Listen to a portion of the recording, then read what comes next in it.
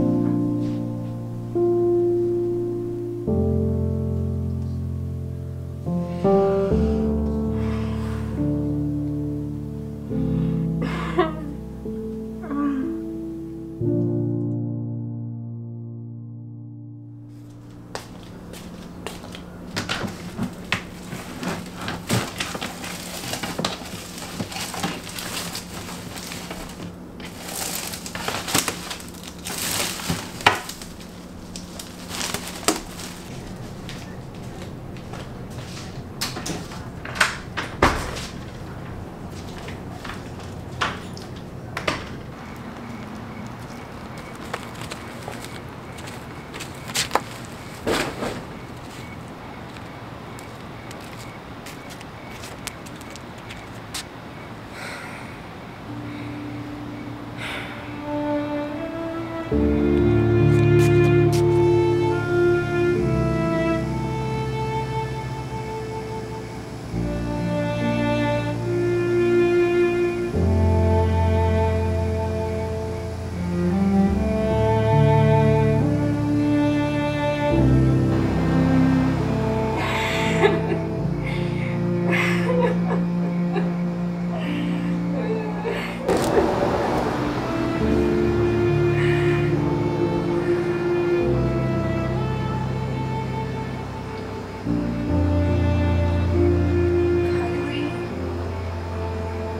I know I need help. I don't want it, but I need it.